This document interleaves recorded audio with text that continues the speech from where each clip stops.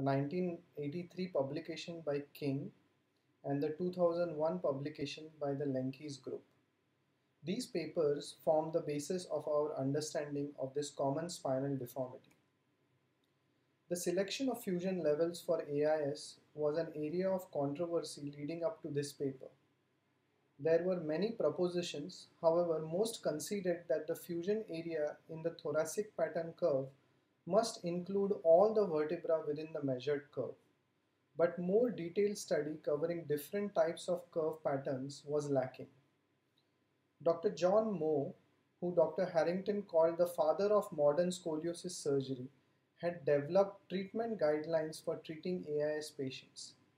His fellow, Howard King, was given the project of retrospectively reviewing all the cases treated at the Twin Cities Scoliosis Center using Moe's guidelines. For 25 years, John Moe taught the principle that the mobile lumbar spine is better than a stiff and a straighter one. And in accordance to this philosophy, in patients with combined thoracic and lumbar curves, in whom correction of the lumbar curve was greater than the thoracic curve on side bending, he had advocated selective thoracic fusion of only the upper curve. These guidelines were being followed by the Twin Cities group for 25 years. So the purpose of this paper was to review the experience of the Twin Cities scoliosis group and study the effect of the selective thoracic fusion in combined thoracic and lumbar curves. Second was to find a reliable method of identifying patients suitable for this method. And finally, recommend precise fusion levels. Please note that the authors did not mean to write this paper to propose a classification for AIS, but this ended up being one of the most famous classification systems used for over two decades. So coming to the material and methods of this paper, this was a retrospective review of a 30 year study period which excluded single lumbar and thoracolumbar curves but included all adolescent curves. The age group was 10 to 25 years at the time of surgery. All were treated with a posterior spinal fusion with Harrington instrumentation and the minimum follow-up was for two years. They had 405 patients in the patient cohort with an average follow-up of four years. The paper described the central sacral line as a line that is perpendicular to the intercrestal line. However, this works only if the pelvis is horizontal. As we shall see later, we now draw the CSVL from the middle of the sacrum parallel to the edge of the radiograph. The vertebra that was most closely bisected uh, by this line was defined as the stable vertebra. The curvature measurements were done on standing, AP and lateral views and supine side bending films. The percentage flexibility of the thoracic and lumbar curve was calculated.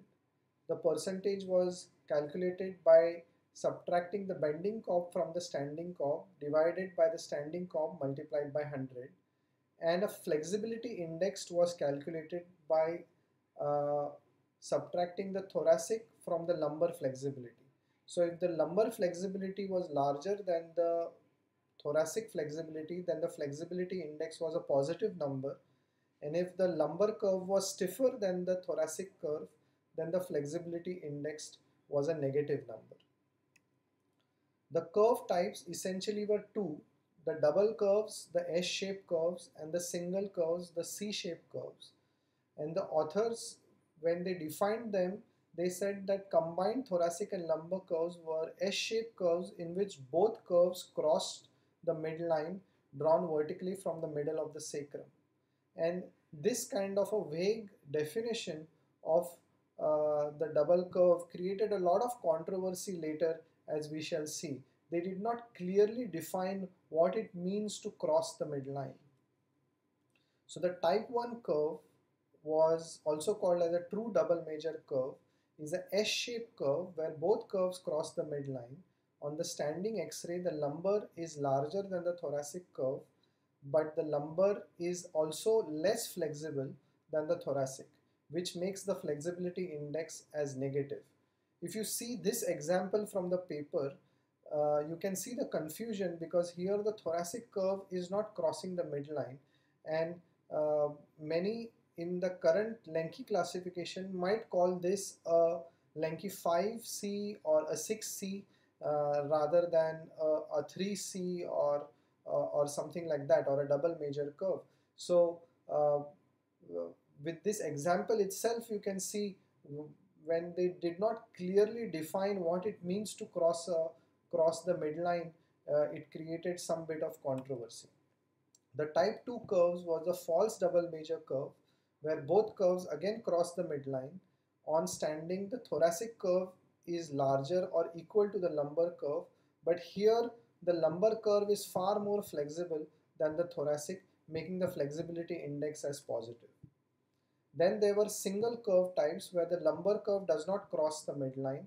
The more co most common pattern was the type 3 which is equivalent to the uh, Lenke 1A curve uh, that we uh, now know and these curves had two different variants. The first variant was the long thoracic type where the L5 is centered over the, uh, over the pelvis but the L4 is tilted into the long thoracic curve that means to the right side for a typical right-sided AIS patient. The main difference between the type 3 and the type 4 was the length of the thoracic curve and the pattern of the lumbar compensatory curve where uh, the, the lower part of the curve goes well into the lumbar spine. The other variant was the type 5 curve in which the T1 was tilted into the convexity of the main thoracic curve also called as a positive T1 tilt. Here the left-sided rib was higher. So the results, uh, the most common patterns were the type 1 and type 2 curves. We'll see individually for the type 1 curves, uh, they were about 13%, 52 uh, patients in total. So this is the true double major. For 49 patients, the lumbar curve was larger than the thoracic. Flexibility index was negative, meaning that the lumbar curve is stiffer. Non-selective fusion was done. For two curves, the thoracic was larger than the lumbar, but the flexibility index was negative, which means the lumbar is stiffer.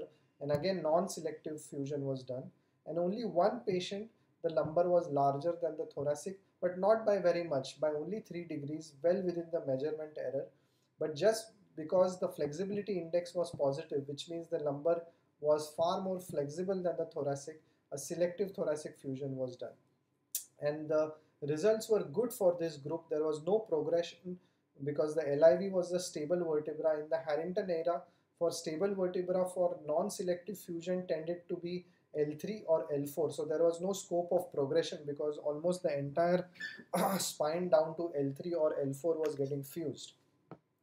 For the type 2 curves, which accounted for one third of the whole cohort, 132 patients were there in this group uh, out of which 21 patients had a non-selective fusion. None of these patients had any progression of the deformity. 111 patients had a selective thoracic fusion and this was the interesting group. So we'll see it more in more detail. This group was divided into four subgroups depending on where the LIV ended with respect to the stable vertebra and the neutral vertebra. So in one of the subgroups in 41 patients, the LIV was the stable vertebra and the neutral vertebra. The fusion stopped at that level and there was no progression of this selective thoracic fusion. In 27 patients, the LIV was the stable vertebra and the LIV went beyond the neutral vertebra and still in this group of patients there was no progression. In one patient, the LIV was the stable vertebra but stopped short of the neutral vertebra which was a little bit distant to the stable vertebra Again, there was no progression. But the interesting group is this. In 42 patients, the LIV went beyond the stable vertebra and the neutral vertebra and the LIV was practically into the lumbar curve. Uh, and in this group of patients, about 57% of 42, which is 24 patients, had a progression of the lumbar curve and two required extension of the fusion as a revision surgery. So in retrospect, if you see in this group, the 21 patients who had a non-selective thoracic fusion could have been treated by a selective thoracic fusion in this category.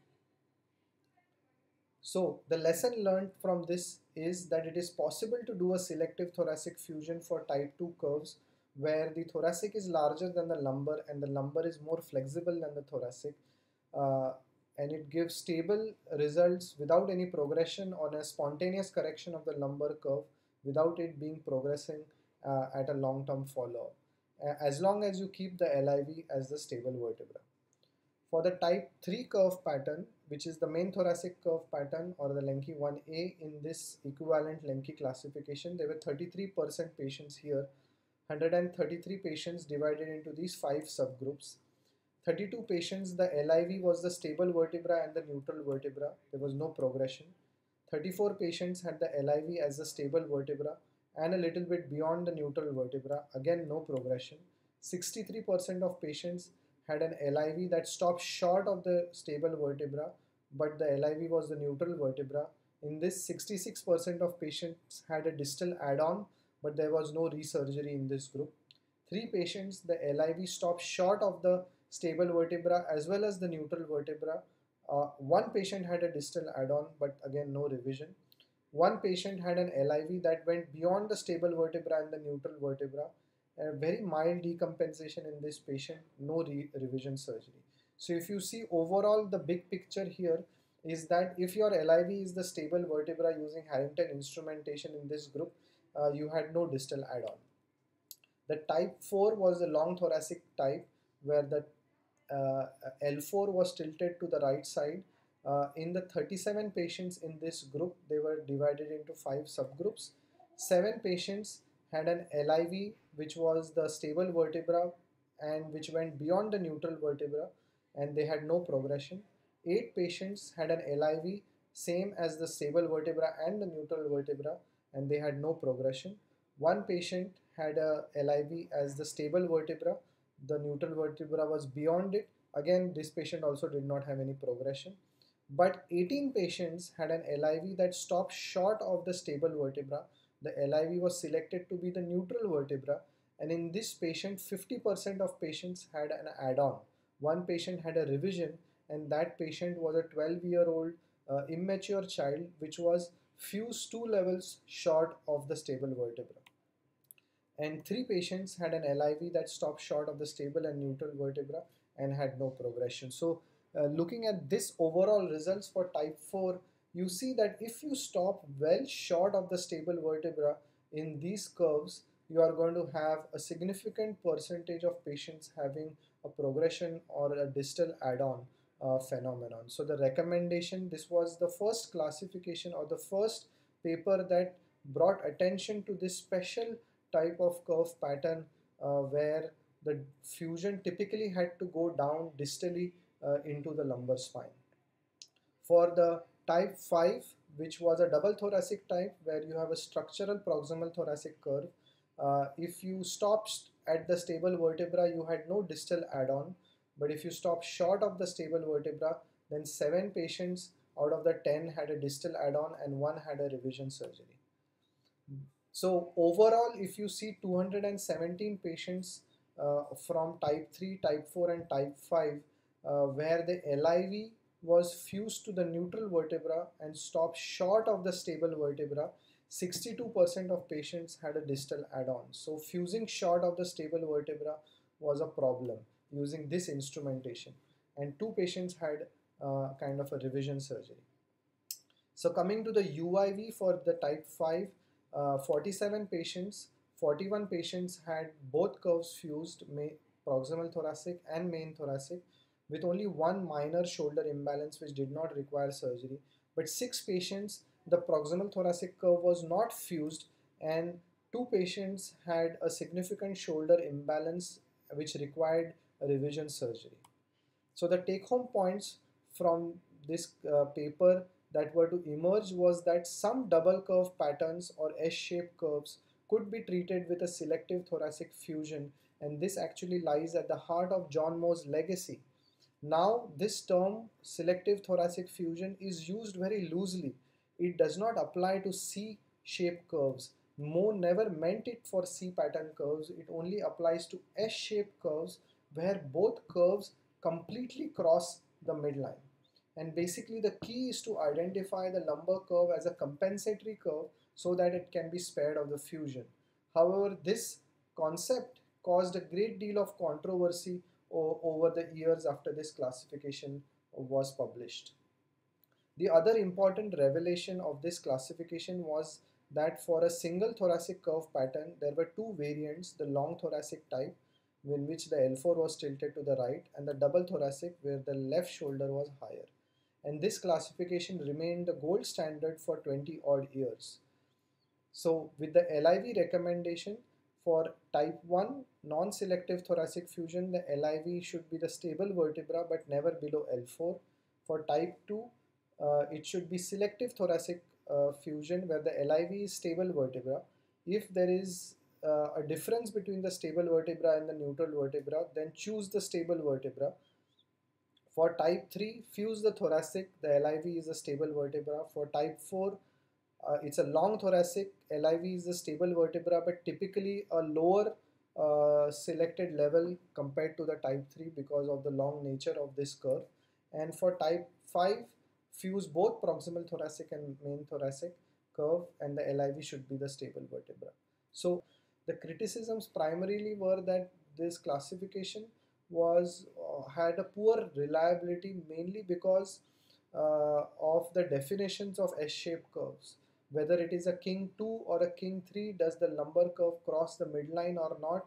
That was a kind of a confusion. Some people called these borderline cases what we call the B modifier curves nowadays with the Lenke classification uh, as uh, King's type 2, some call them as King's type 3. So that was the big confusion here and that, that's where the reliability of this classification uh, suffered. The uh, classification also ignored the sagittal plane uh, that we know now. Uh, it is non-comprehensive because it didn't include the lumbar spine or thoracolumbar curves. And again all these recommendations were based on the Harrington instrumentation where the LIV is the stable vertebra. But now with better instrumentation we are able to cheat short of the stable vertebra. We don't have to end at a vertebra that is very clearly bisected by the stable vertebra. We can maybe stop at a vertebra that is touched by the central sacral vertical line that Lenke has called the last touched vertebra. But that's because of our ability to better three-dimensionally correct uh, the structural curves. And that's why the, the LIV recommendations have changed but the principles uh, proposed by Moe still uh, remain true. So then came along this uh, paper uh, about 20 years later in 2001 by the Lenke and the Harms study group.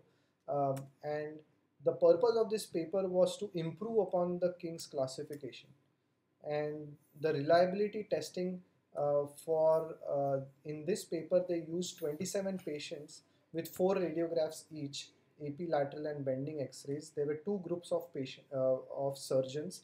The the one group was five surgeons who had developed the classification and then there were another group in which which had seven random surgeons from the SRS uh, they use the SRS definitions of different curve uh, regions uh, and accordingly they were the proximal thoracic curves, main thoracic curves, thoracolumbar or, uh, or lumbar curves. The structurality of these curves were, were the minor major curves and the minor curves. The largest curve was always a structural curve called the major curve and the smaller curves were the minor curves. The minor curve could be a structural curve or a non-structural curve and they defined the structurality of minor curves depending on how uh, it how flexible it was on side bending and whether there, there was junctional kyphosis in the proximal thoracic region or thoracolumbar region on the standing lateral x-ray.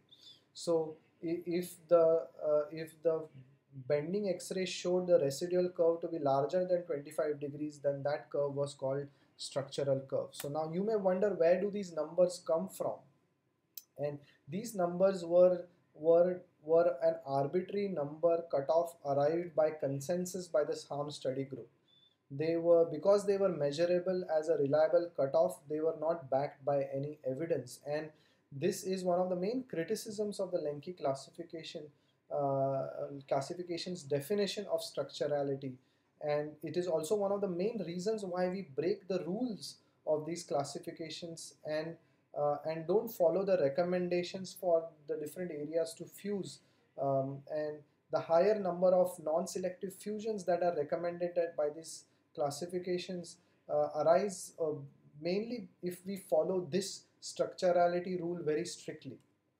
So that's important to remember that so accordingly there were six curve types proposed by this classification and each curve type had modifiers. The first modifier was a lumbar modifier depending on where the apex of the lumbar curve is with respect to the central uh, sacral uh, uh, line. And the central sacral line in this was defined as a vertical line bisecting the cephalad aspect of the sacrum which is perpendicular to the true horizontal or parallel to the edge of the radiograph. So here it accounted for these minor pelvic obliquities because of a limb length discrepancies that were less than 2 centimeters. Those were ignored.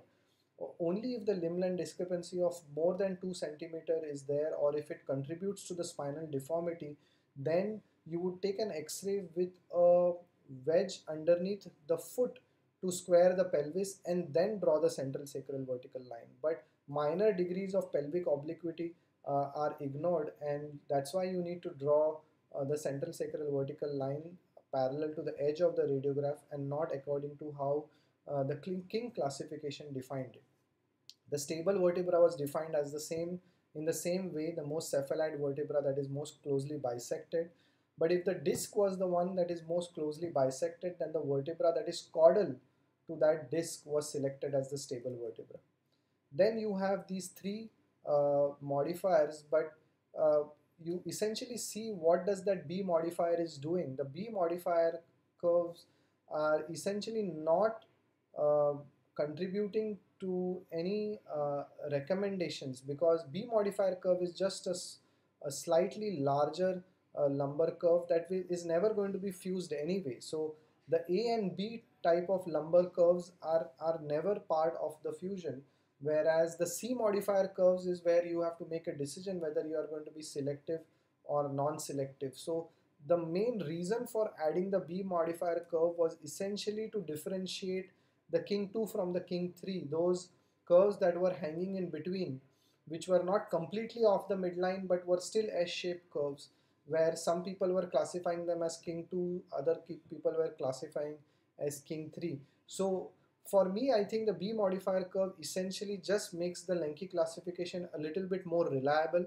it is not essentially changing a big deal about how the curves are fused because a B modifier curve is never going to be fused anyway. Coming to the sagittal modifier, the thoracic modifier uh, was a sagittal curve drawn from T5 to L, uh, T12. Now the main criticism of this is that when we draw Cobb angle, even in the sagittal plane, we go from the most tilted vertebra to the most tilted vertebra. Here, um, we are not using that. The classification is using fixed levels to define the sagittal Cobbs and as we all know the sagittal profiles of different people is different you know you may have an end vertebra uh, in the sagittal profile not as T5 or may not the end vertebra may not be T12 the lower end vertebra for for a sagittal uh, uh, kyphosis or a hypokyphosis so that's where uh, the true measurements these are not true uh, sagittal Cobbs but just to improve the reliability of the classification a fixed level was used. Um, the Lenke group also tried to incorporate a third dimension to their classification which was the axial rotation modifier but but they failed to do this because the radiographic measurements of, of, for rotations were just too unreliable and there was a lot of inter-observer variability. So to keep the classification reliable, they scrapped the rotational um, uh, component uh, and hence the Lenke classification remains a 2D classification. And these were the rules or the recommendations proposed by the Lenke classification. The largest curve, the major curve always is included in the fusion. Fuse the minor structural curves and the structure is, is part is in quotes because that is defined by a very arbitrary rule of 25 degrees.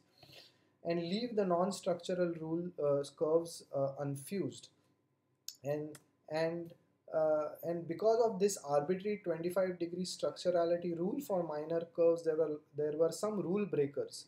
So a rule breaker is if you don't fuse a structural minor curve or if you fuse a non-structural minor curve in, these patients you are not following the recommendations laid down by the classifications and this is a rule breaker.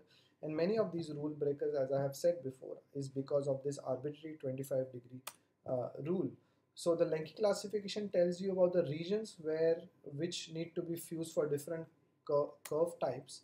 And the reliability uh, among the five surgeons who originated this classification uh, the inter uh, observer reliability was good the same 24 patients x-rays were classified according to the King's classification accordingly the reliability was poor for inter intra observer reliability uh, for the Lenke classification was good but intra-observer reliability uh, using the same set of X-rays for the King's classification was fair.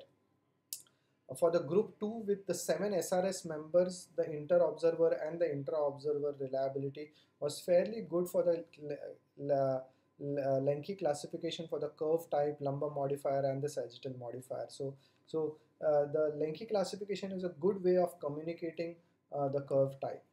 So when, when Lenke's uh, operated patients, 315 patients were looked at from the classification point of view, uh, you can see that the most common pattern again is the main thoracic curve pattern and the triple major curve is the least common.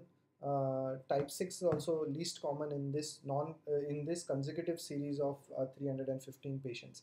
But take a look at this line here which tells us uh, how many patients were fused according to the Lenke's recommendations and you can see that this number is smaller than the total number of patients in each group. So there were about 31 patients who were not treated uh, according uh, to the Lenke's recommendations. So 284 patients were fused according to the classification. So 10% patients were, were the rule were the rule breakers. So if you see this paper which was published a year later of from the Harms study group, it included patients from all these different members of this Harms study group had uh, 606 patients out of which four, 546 patients were fused according to the rules laid down by the Lenke classification. It means that about 60 patients these rules were not followed. So out of the 65 uh, Lenke 1C patients, where the rule say for where the classification says to do a selective thoracic fusion 25 patients had a non-selective fusion out of the 69 patients with Lenke 3C where the rule says to do a non-selective fusion 7 patients had a selective thoracic fusion so uh, another study published 10 years later by the same uh, Harms study group they tried to see if the Lenke classification changes scoliosis treatment according to the recommendations laid down by them out of the 1,310 patients, uh, 191 patients were rule breakers, about 15%. And if you see this table in this, uh, you can see before 2001, before the classification was published, the number of rule breakers uh, in different groups was this much percentage. You can see most of the rule breakers are happening in the uh, C modifier curves or the double curves like Lenke's uh, 3, 4 or 6 but after uh, the publication of the classification uh, the percentage of rule breakers you can see for the C-shaped curves actually the rule breakers are decreasing somewhat from 13% to 6% so 1 uh, 2 and 5 are the C pattern curves but you see for the most of the S pattern curves which are the 3C 4C and 5C you can see after the Lenke classification has been published, the percentage of rule breakers has not really gone down. In fact, some of them uh, slightly the percentage seems to be more than before the classification was published. So here what I think what is happening here is that although people are using the Lenke classification, they are still using the principles laid down by Moe uh, in determining which patient should get a selective and which patient should, should get a non-selective fusion especially for the double curve or the S curve, S-shaped curve patterns. So the positive points of this classification is that it is more comprehensive, includes thoracolumbar and lumbar curves. Total 42 curve patterns are included. which you may say is a little mind-boggling and many many surgeons still have not converted uh, themselves to the Lenke classification, especially the people who grew up on King's classification. Um, and it forced one to look at the sagittal plane, making this a good 2D classification. It had a good, excellent reliability, making a good teaching tool, a communication tool, and a research tool. However, the classifications has problems uh, because it does not make specific recommendations for the UIV and the LIV. It does not into, take into account the clinical appearance of the patient, the rotational prominence of the lumbar spine or the thoracic spine, nor the skeletal maturity. Neither did the King's classification, but these factors are important when we choose uh, different areas of the curves to be fused. As we have discussed, the structurality rule is arbitrary, which led to a lot of rule breakers. Uh, rotation is not included and it remains a 3D classification. Um, there are new classifications that are coming up that are 3D, but still most reliable classification for us to communicate with each other remains the Lenke classification.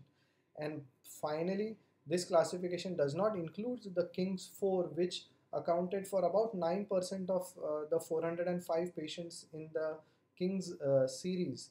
Um, so uh, later on, Peter Newton's group uh, corrected this problem and, and, and included an R modifier or the AR modifier which subdivides Lenke 1 curves into Lenke 1AR which essentially means that the L4 is tilted to the right side which is the same as the King's 4. So it's basically a rehash of the old classification. Uh, so whether you call it a Lenke 1AR or a King 4 it, it still means the same thing. So to summarize uh, I think we all need to understand both these classifications primarily the king and Moe classification to understand the principles behind how we treat AIS patients. And the Lenke classification essentially is a language in which we speak and communicate with each other. Uh, but the principle laid down by Moe uh, in terms of the selective thoracic fusion and how these different curve patterns should be treated still stands true even though the classification has changed, even though the instrumentation has changed so the principles I think still remains the same. Thank you very much for watching.